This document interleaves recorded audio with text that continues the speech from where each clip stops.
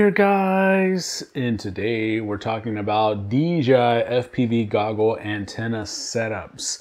Choosing your DJI goggle setup is kind of like choosing a character on the Streets of Rage game. If you were playing video games back in the 90s, you might remember Streets of Rage, and you would choose your character based on if you wanted the maximum power, the maximum mobility, or the best all-around combination of both.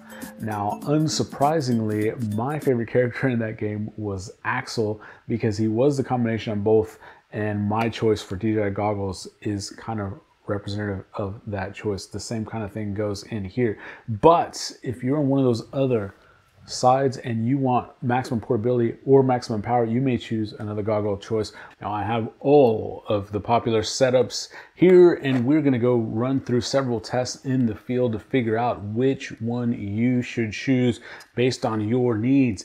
And I think you're actually gonna to wanna to pay attention to this one because the answer is not going to be the same for everyone. I could see each of the five options represented here being the best choice for an individual pilot based on their needs, their type of flying, their size craft flying that they do. Now, this spoiler alert is what I'm going to be going forward with. This is kind of what I'm calling the Johnny 5 uh, FPV combo. This is the Axii HD patch antennas on the DJI front faceplate. And I do have that Axii HD stubbies, but I'm actually going with the True RC stubbies on the top because they are just a tiny bit smaller. Performance between the two seems to be about the same. So it's not a performance choice, it's just a compactness choice. And you can see um, by putting this, it really does reduce the size and the footprint of your goggle setup so much. It's not quite as small as a Fat Shark, but it's getting there.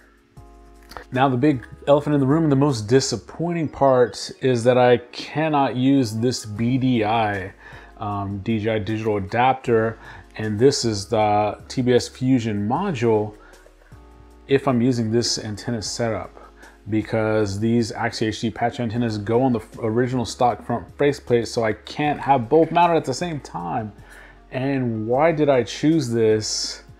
I'm gonna tell you why going through. Let's get out to the field. First up, I'm gonna be going through all of the options um, now, the reason I came to this test, this is an unscientific test for range penetration performance.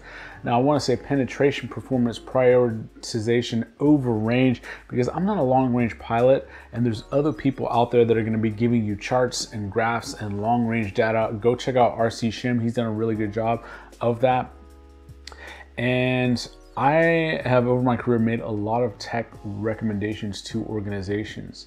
And depending on the knowledge level of the user base, those charts and graphs may be meaningful to some people. So if you're a data analytics guy, go check out his video. For me though, I just wanna give you a rough comparison on how these perform relative to each other in a way that's easily digestible. So what I did was, when I very first got the DJI goggles set up, I was using all stock antennas and I was flying in a place that I had the dropout, the DJI dropout, where your bit rate drops all the way down to zero, the image cuts off, and you have to disarm. So I went back to that same spot. I had my DVR, so I knew exactly where the stock DJI antennas um, failed, and I positioned myself pointing the exact same way flying in my car to reduce that range to induce a failure. And then I tried all of the goggle combinations individually one by one to see which one penetrated the best. Now these are the worst conditions for DJI. It's penetrating through about almost 100 feet of solid bush, brush, trees, tons of leaves, which we know DJI signal has trouble penetrating through. The first test we're gonna be doing is four true RC stubbies all the way around. Let's get to it.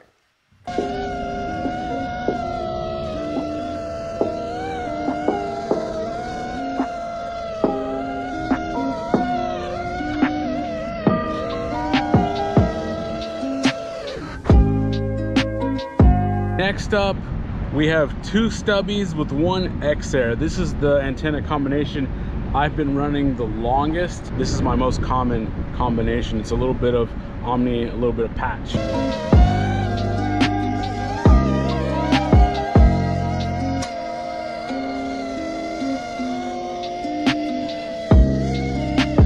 Okay, here's the third test. This is the Lumenier Axii HD system. The two Omnis, uh, traditional axis shape uh, with a DJI compatibility screw on for the RPM SMA and these patches that fit directly on the front. So very low profile and clean. Let's see if it gets additional penetration to make it all the way around.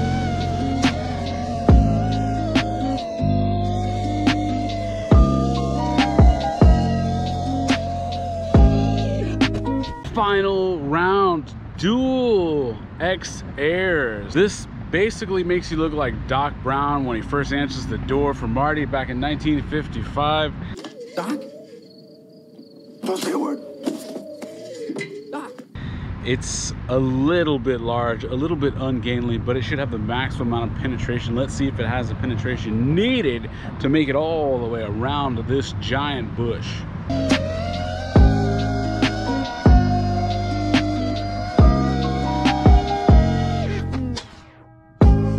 None of them made it all the way around. None of them. And that was on 700 milliwatts for all of these. So that comes to another point that I'm going to talk about before we get into the testing, and that is you have to know the limitations of your system. There are certain scenarios where DJI performs way better than analog, but there are a lot of scenarios where analog perform way better than digital. And you have to know the difference. Um, for instance when i went and flew around a movie theater um, the front of that thing there's a huge metal cage that kind of runs around it. Analog could barely fly there at all. It was totally all the reflections from that metal cage were just causing havoc on my analog signal even pumped up to high wattage. Dji had not even a blip it was perfect. So in those high reflective multipathing environments where analog would suffer, DJI excels. Conversely, on penetrating things like leaves, trees, um, any kind of foliage canopy, those are things that analog actually does fairly well uh, and digital does not. So you just have to be aware of how your system works that you are choosing to fly. So I will say this setup performs very similarly to what I had been running the longest before. The longest I had been running before was two True RC stubbies on one side, one True RC X Air on the other side with the Digi adapter. That is somewhat compact, but not completely compact. The issue with that was you still did have this big antenna flying off. And but just to note, the performance of those two setups and this was virtually identical. The pros to having that setup was that I could still run this BDI digital adapter. So if I was flying analog a lot, I would be going with this choice. So my choice really, because performance of those two options are so similar, is going to be this setup. Why? Because I'm hardly flying analog at all these days. Much, much less than I anticipated that I would. I anticipated I'd still be flying analog 30 to 40%, but it's like less than 5%. I just don't even want to try it. I reviewed the Diatone Roma the other day and it's an amazing quad. It flies great, premium parts, excellent analog camera, one of the best I've ever flown. And it was just, I can't see anything. Once you've gotten used to flying this for several hundred hours, flying an analog setup just looks horrible. I don't have the confidence to freestyle the way I want to freestyle. I don't have the confidence to race the way I want to race. Um, it's just not that enjoyable. So what I've been doing is carrying around this set of Beta FPV box goggles with me when I need to review or fly something analog. This is not an ideal situation.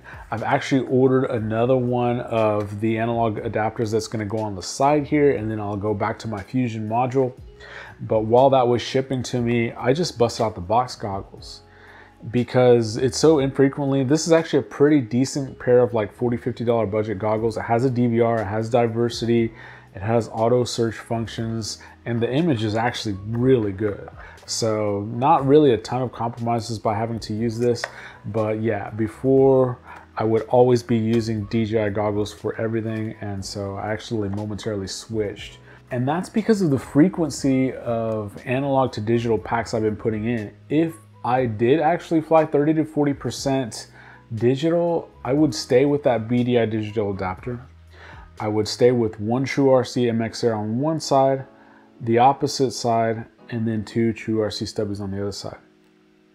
Performance is pretty much the same. The best performance though for penetration was dual X-Airs. It really is. Dual X-Airs get me just a little bit, but it wasn't significant enough for me to run that. I might keep, I probably will keep those around in case there isn't a situation where I do long range. Now, if you're a long range pilot and that distance and penetration means a lot to you, then dual X-Airs is absolutely the best performing out of all of them. Now the difference in penetration in this test scenario I conceived really wasn't huge. It was like maybe less than 10% greater. So this really offers you a lot of bang for your buck. I'll put the links to this Johnny 5 combo or you can save yourself five bucks and just get the Axii HD all the way around combo. These have been so popular. They're out of stock constantly. So if I'm releasing this, hopefully they're in stock. Links in the description below. Get them quick because they're gonna go back out of stock very quickly. What do you think in the comments, guys? How far have you been taking your DJI goggles? Um, I really like that there's such a solid group of DJI antenna options available now, finally. It seemed like it took a while and um, it really just depends.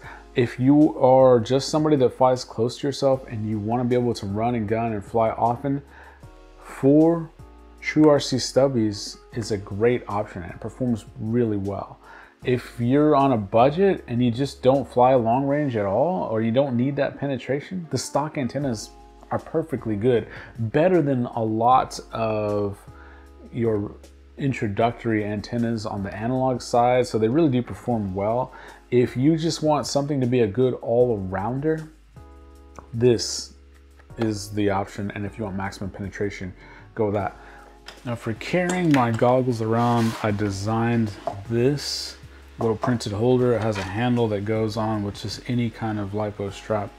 And so the way that it works is these just sit in here like this and there's a little hole right here that you put this strap in and you can carry it like that. The nice thing is the lenses are always facing down.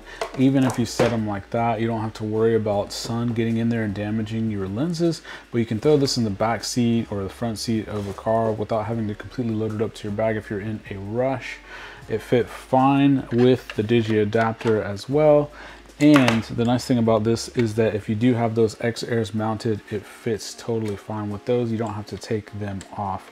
So I liked that. I'll have the link for this file available on Thingiverse if you want to print one yourself. What goggle antenna choice have you made for your DJI goggles? Comment below. Tell me what you're using and tell me what experiences you have.